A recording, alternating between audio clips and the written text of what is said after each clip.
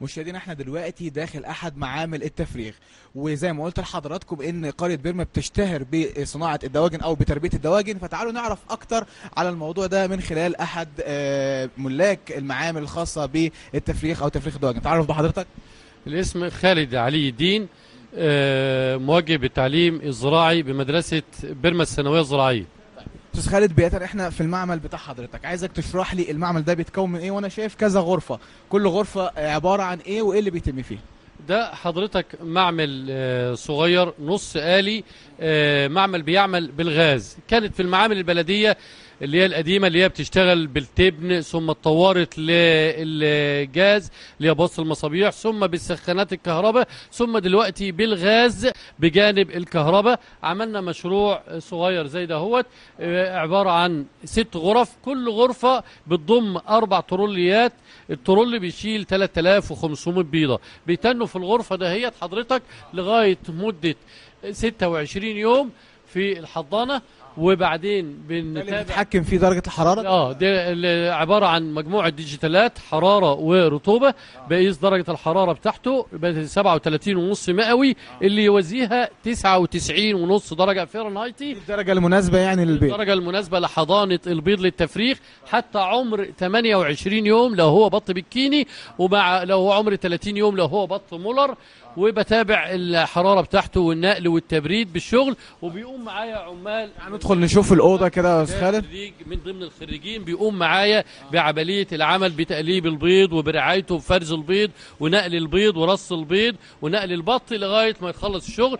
هروح له بس يعرفني على المعمل من جوه والأوضة من جوه. أتعرف بيك الأول؟ أتعرف بيك؟ عبد عبد القادر شمس محمود. لا أنا عايزك بقى تعرفني أنت بترص أو بتقوم مهمتك في الأوضة دي إيه؟ بتعمل إيه بالظبط؟ أول ما بخش بخش بالترولات وفي عندي فيش تقليب من ورا. تمام حط الفيشه هو بيتقلب اوتوماتيك مع نفسه. البيض بيتقلب لوحده. آه ترص أنت على صواني السلك زي دي. ماشي وتحط على الترول بتدخله وتبقيته ليلة ثابت. الصف تقريبا بياخد كام بيضة؟ الصف كلته هو الترول بيشيل 3500 3500 بيضة. آه. طيب بيقعد قد إيه وقت مثلا البيضة جوه الأوضة دي أو على الترول ده؟ اللي هو بيتنى على الترول لمده 17 سب- 27 يوم. وبعد كده؟ وبعد كده بيخش حاجة اسمها حضانة. يخش يفحص البيض يفحص بط يطلع عمر يوم كده يعني. عبد القادر هل انت مهمتك بس إن أنت بتقوم يعني ب- ب- برص البيض ووضعه داخل الترولات دي عشان آه، بعد 17 هو يوم؟ يعني هو 15 يوم بتطلعه تليحه. طلع الحمل طلعوا إيه؟ اللياحه حاجة اسمها لياحة. يعني إيه يا يعني اللياحة البيض اللي هو السليم من البيض البايظ. البيض البايظ بيطلع لوحده. انت بقى تظبط الموضوع ده. نظام فرازة وتحط الفر... الصينية على الفرازة وتطلع الحمراء لوحدها واللياحه لوحدها والبيضة اللي في قلبها في لوحدها. بتتابع انت وتشوف البيض. آه، بت- بتبقى في عملية إشراف من وقت للتاني آه، ولا آه. بعد نهاية المدة؟ بعد 12 يوم أساسا بتروح جاي مطلع الترول حاجة الصينيه بنحط حاجة كده فيها لمضتين من تحت. وتروح جاي حاطط الصينية فوق منها بتفرز لك بقى اللي فيه اللياحة من اللي فيه الحمراء من اللي فيه اللي هو إيه الفاي. والبيض الوحش بتتخلصوا البيض منه. الوحش بنخلص منه والبيض اللي فيه الفاي بيخش يكمل إيه يكمل المدة بتاعته في قلب الحضانة بتاعته.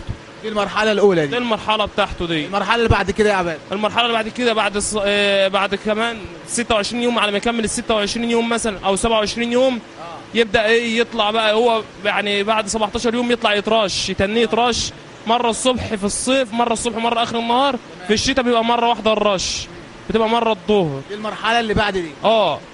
تالت تالت مرحلة بقى اللي هي بقى بتاعة الفأس بقى. يخش. خلينا بقى نشوف كل مرحلة في مكانها هيكون أفضل يعني. عايزك تعرفني بقى المرحلة اللي جاية. ما هو هو المشكلة إن كان المعمل ده لسه مصمم جديد كان عندنا معمل قديم ولسه مصممين المعمل ده جديد. أول دخولنا هنا لسه.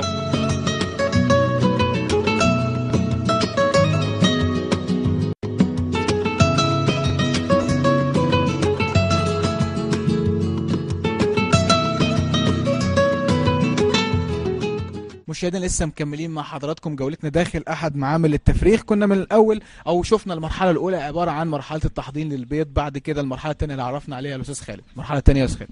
اللي المرحلة الثانية اللي هي بعد الفأس وبعد خروج الكتكوت من البيضة.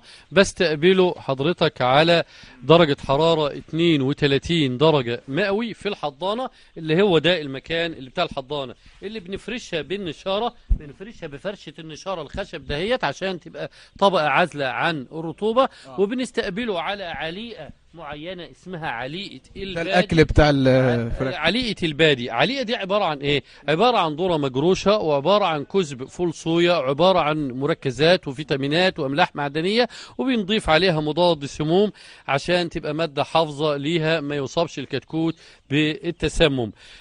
هو نوع ال- الكتكوت ده الكتكوت ده بط نوع من أنواع الطيور المائية اسمه بط مولر. عبارة عن هجين بين البط المسكوفي مع البط البكيني اللي هو الجيل الأول. السلاله دي عقيم إنتاج لحم بس فقط. تم تهجينها بين سلالة البط المسكوفي الجيل الأول مع البط البكيني أو الفرنساوي اللي هو الجيل الأول. على أساس تدينا نوع اسمه البط البغال هو ده. الهجين.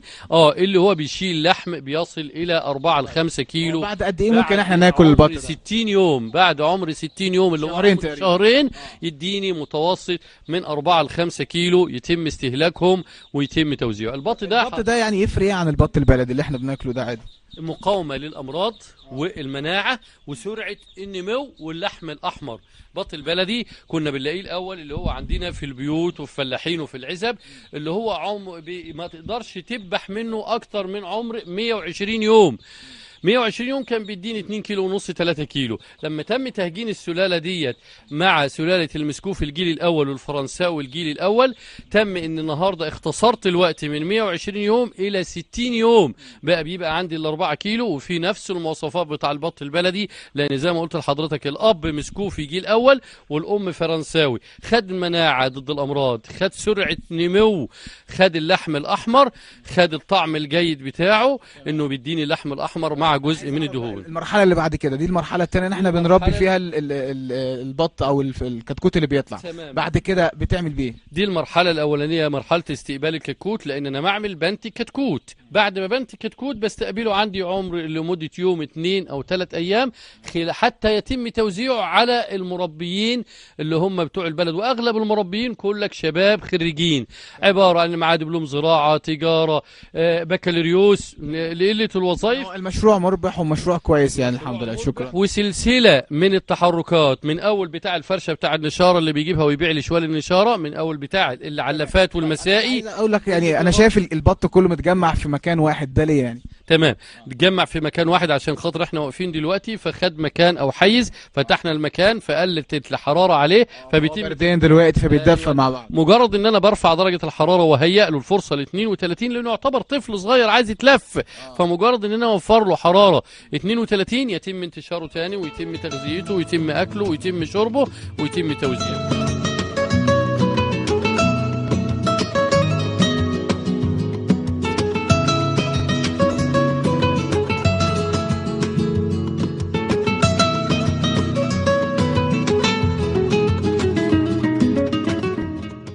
أتعرف بيكي عبير محروسة بيت عايز أعرف دورك إيه بقى هنا في المفرخ أو في المعمل؟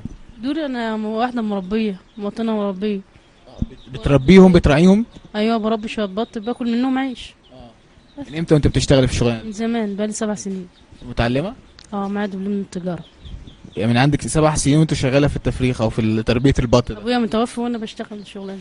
طب أنا عايز أعرف بقى ال- إشمعنى المهنة دي اللي أنت حبيتيها؟ ولا عشان القرية كلها بتشتغل في المهنة كلها دي بتشتغل في المهنة دي دي مهنتنا وبناكله منها عيش في مشاكل بتقابلك وأنت بتشتغل ولا أنت حابة الشغل خلاص؟ لا أنا حبيت الشغل دي شغلانتنا وحبيناها. دلوقتي أنت آه أنا شايفك حاملة صناديق الصناديق ده تعملي بيها إيه؟ لا أنا هروح أودي ال- البط في العنبر و... ونشتغل. آه يعني هما بيجمعوا لك البط ده من المعمل بعد كده أنت بتضيف العنبر وبعد كده بتتولي أنت تربيته. أيوه. طب اشرحي لي بقى إيه اللي بتعمليه خلال العنبر؟ وانت بتربي البط. دخلوا البط لما بيكبر بنبيعه للسريحة. بيكبر بيبقى عمره قد إيه مثلا؟ عمره 13 يوم 17 يوم في الحدود دي. ناس انه 8 أيام. 8 أيام. مم. بعد كده بتخلوه عندك في المفرخ لمدة قد إيه؟ لا بنخليه في العنبر عندنا لمدة آه، 13 يوم وبنباع 13 يوم. البطاية بقى تجيب كام؟ بطايه في حدود 13 جنيه.